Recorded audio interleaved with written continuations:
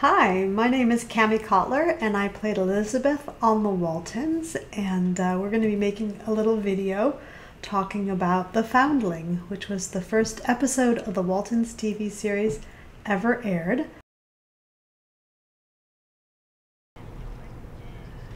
And then they come down to the living room and Holly gets to fingerspell for the first time.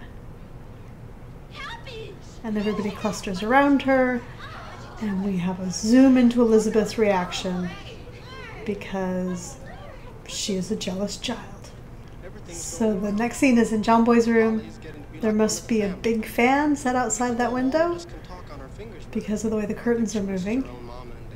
Now keep in mind, every scene in the school was filmed on the same day.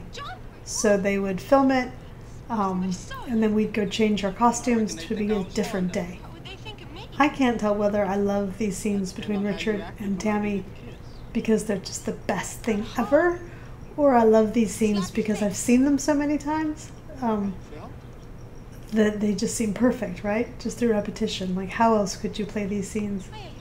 I've always had a lot of empathy for Marcia. I mean, she's she's horrible to John Boy, but I feel like she kind of knows that she's the wrong girl for his affections because he's a writer and super into language, and she's just a little simple, right? So now we're back um, in Godsey's store. Ooh, I can see a Ouija board, which is amazing. Does it make sense that it was on on the set for the episode we did where there actually was a Ouija board fig, uh, featured? But I guess we ended up with a Ouija board there any, anyhow beforehand. All that fruit in back is plastic. It's Elizabeth's big reaction shot. Oh, she's scandalized. Oh, a betrayal. He's been saving that quarter forever to buy the dominoes they wanted, and instead he just throws it all away. Ooh, here's my big shot.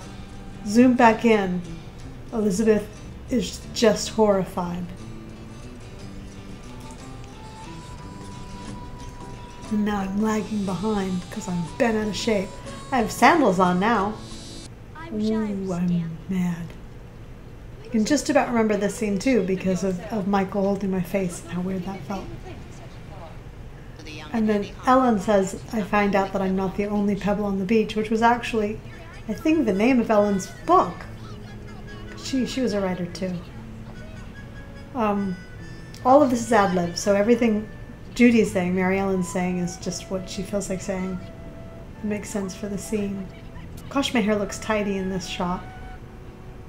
And then we, camera lens pulls back, we widen, and we can just see Ruth, Holly's mom, watching her play happily. Except for John Boy emerges out of the brush. And then we zoom in closer, which is so 70s. You really don't see people zoom anymore. So if you notice the little bricks that are around the flowers on the pathway to the front door, those are really good to, to like walk on. If you were a little girl, you could balance on the points of each of those bricks and it would entertain you. And sometimes they'd, they'd just pop out of the earth and you'd have to sort of put them back before anybody noticed. So it, at that moment right there, right, I'm sitting on the porch. Erica or Holly comes over and sits next to me. We have our little exchange, and then then she leaves, and then I leave. And the thing to remember is that when I exited, I was exiting to the left of the camera. So if you're me, right, and I'm the camera here looking this way, then you'd have to brush past the lens over here. And there might be a lamp over here and some some metal stands holding um, holding what are they called? Holding like um, different shades and, and devices and filters for the different lights. So often when you exited you had to kind of exit like you were walking into the big wide road but really you were walking into a space about this big between all the different pieces of equipment. Um, and sometimes you, you would just be able to get past the lens and have to stop because there would be too much gear between you and what was behind it. Not as much outside because there's just more space for equipment but it's it's hard to remember that it's not real. So Elizabeth's making a move. A little trot. So when you see Elizabeth do things like run, stop, turn, and look back, that's scripted, right? That's directed by the director. Go to that point, stop, turn and look back, and then keep going. And now I'm signing go back. Go. And it's. You can see my lips moving a little bit when I'm signing because I'm spelling the letters. And then you can see Erica try not to move her lips at all because she's supposed to be deaf and she wouldn't be speaking to remember how to spell something. But I would be. Now this little clip between Richard um, and Charlotte, I'm not sure where this is taking place on the lot. I mean, there were various green spots, say behind where the barn was, maybe, or over behind where the garden was. Either of those places might be the location of this. Such a John Boy's the people whisperer, right? He just says, It's alright. I think you should. And people will do what he says. Even though he's carrying an axe, right? Like, it's a little menacing when a stranger approaches you with an axe and says, Come with me. Joe Conley um, had been acting since, I think, the early 50s, but mostly small parts. Um, so I think I think Joe uh, Ike Godsey was a great, a great part for him. And often the character actors and the older actors really appreciated the gig, you know?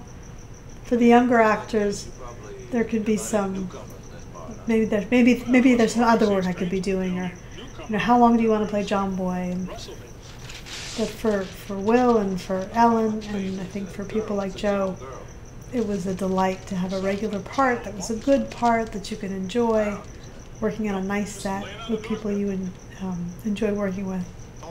And I'm telling you those crackers are stale.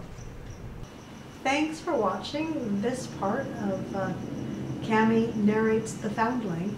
Uh, if you want to know when the next part is uploaded, go ahead and click on the little bell, and that will make sure that YouTube notifies you when we've uploaded the next part. Hope you enjoyed it. If you want to know more about the making of the Waltons and, and the making of television in the 70s, uh, go ahead and follow me on Facebook, where I answer fans' questions and post whatever I happen to remember.